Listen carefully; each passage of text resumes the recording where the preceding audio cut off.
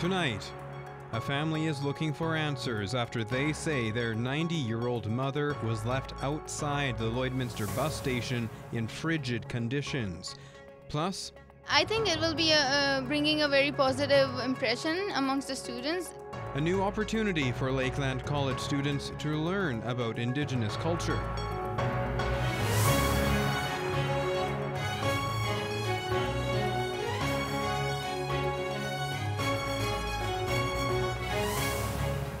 This is Newcap News with Brian Lentz.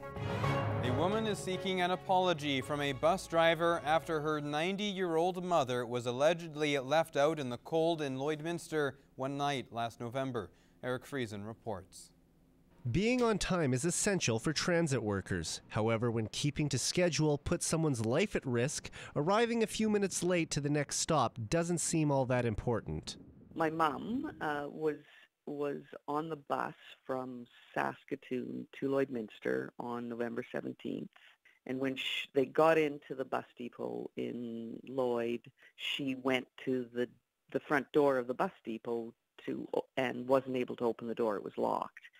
The driver told Lucille she would have to wait outside until her daughter arrived because the bus depot was closed.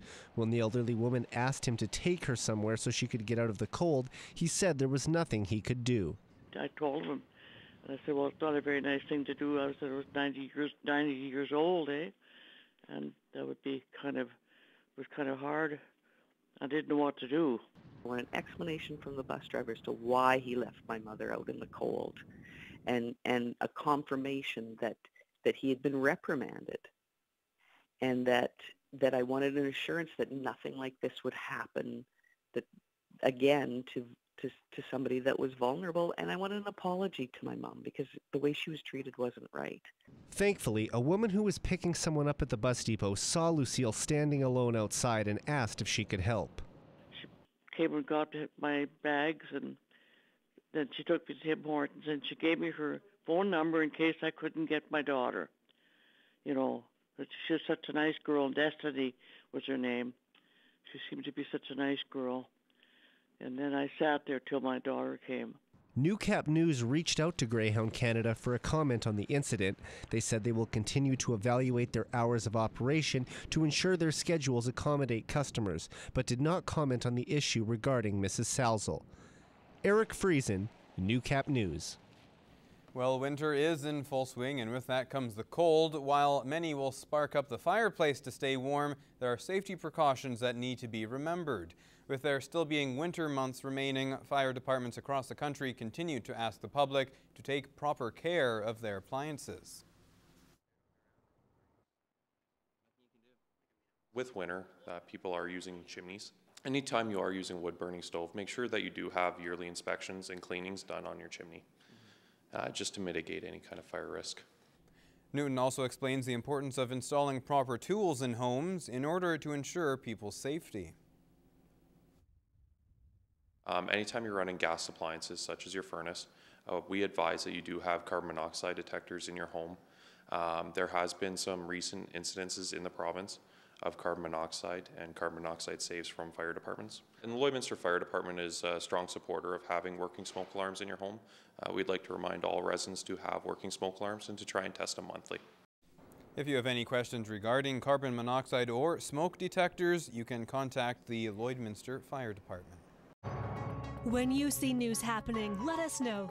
Grab your phone and hit record and become part of the Newcap News team. It could make you $100 richer. If you capture news happening, drop us an email at tvnews at newcap.ca. Reconciliation is echoing through the halls as Lakeland College opens its Indigenous Student Lounge. Gerard Lampow finds out why it's important for students to have a space to call home.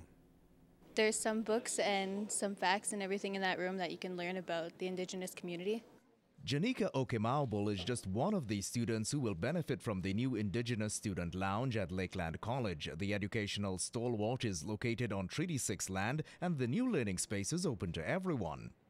I think it will be a, uh, bringing a very positive impression amongst the students. It will create a higher community feelings between amongst the indigenous students and it will also help the other students for example ca- canadians and internationals learn more about the indigenous students a cross section of the Midwest community took part in the opening of the lounge, which was led off by a smudge ceremony and prayer. The issue of reconciliation remains a pivotal focus.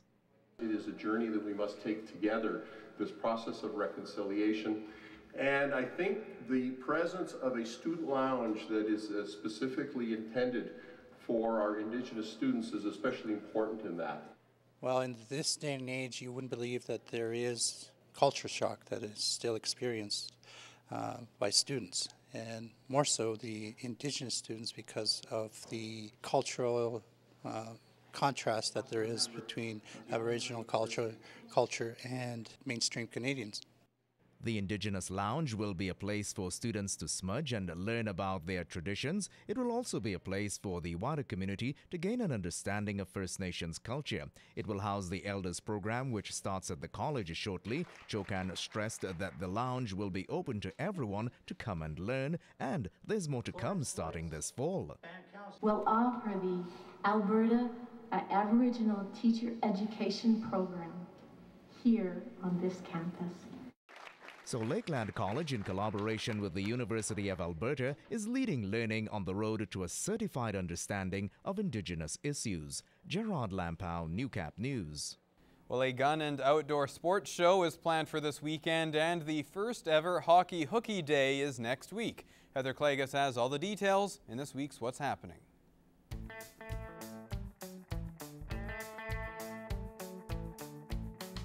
This weekend, great opportunity to celebrate the great outdoors. The Lloydminster and District Fish and Game Association is hosting their annual Gun and Outdoor Sportsman Show. Great opportunity to find out a little bit more all about it. You can head out to the Servus Sports Center tomorrow and Sunday to check it out. That's also where you can get your tickets for their upcoming Family Wildlife and Awards Banquet. They always have great food on the menu here at the Stockade Convention Center. Plus, they've got entertainment from Mahoney. So pick up your ticket for that banquet coming up next Saturday night.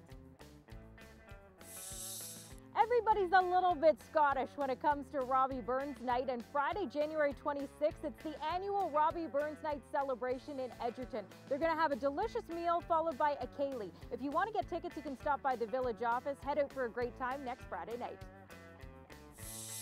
We want you to start off your weekend by winning, and we've got a fantastic album you can win Shawn Mendes MTV Unplugged. It includes his hits There's Nothing Holding Me Back, Stitches, and a whole lot more. If you want a copy, all you have to do is email your name and daytime phone number to tvcontest at newcap.ca. We want to say thanks to John at Universal Music Canada for setting us up with the music.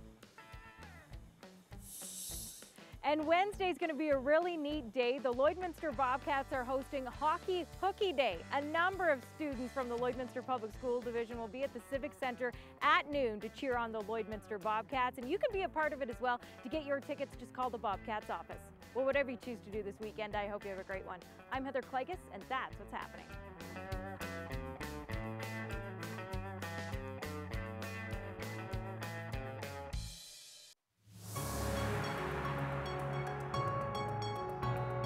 This is Newcap Sports.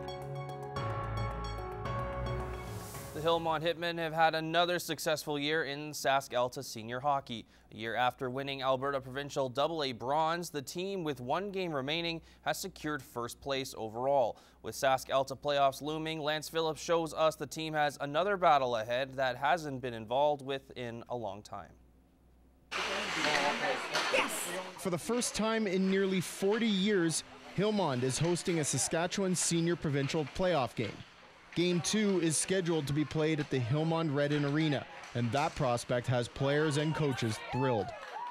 We've had a very good uh, run in the regular season here, getting ramped up for our, our playoffs in the SaskAlta, and uh, the, the provincials is uh, some icing on the cake. So the boys are excited. This is it's it's going to be a, a fun run. You're going to be stepping up a notch, right? Like that's really good hockey, really and in Saskatchewan specifically, growing up here, like provincial hockey means a lot. Uh, all every small town, you see it every year, right? So everyone's super excited. The team they face in the best of three first round is Wilkie, a team that's seen its share of success. It could prove an interesting matchup, given the two teams play in different leagues and have not seen the strengths and weaknesses each brings. What we do know is they are a strong hockey club. Uh, it's my understanding they lost in the finals last year, so uh, good teams don't make it to the fi- or weak teams don't make it to the final. So we're expecting a challenge, and uh, but we're going to give it all we got. It means that for Sask Alta's first place team, the potential to have two playoff series occurring at the same time is reality. A vision that suits the Hitmen just fine. Everybody talks about the grind, but if you're winning, I don't think it's going to feel like a grind. You're going to be excited as all can be that you made it past a round or two or three, and I don't think anyone's going to be complaining about, you know, and we got to play three, four games this week. They're going to be excited, and right now, you know, you, you look at the prospects. Yeah, it could be a lot of hockey. And given Hillmond's two losses in 15 games, it could be a lot of hockey for a while. Lance Phillips, Newcap Sports, Hillmond. A big weekend is in store for Rustlers Athletics as the volleyball and basketball teams take to the court against the Keyano Huskies. Josh Ryan has more on a series of games that could have a major impact in February.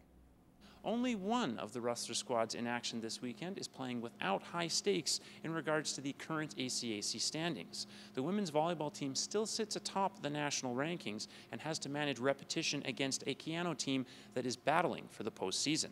The men are in the midst of a seven match losing streak and face a Husky squad that sits atop the North Division, but the Huskies do come in with several key injuries. Coach Taylor Dyer is focused on execution and limiting errors. I would just have to be super active at the net. I think um, being able to slow them down offensively is going to be big for us.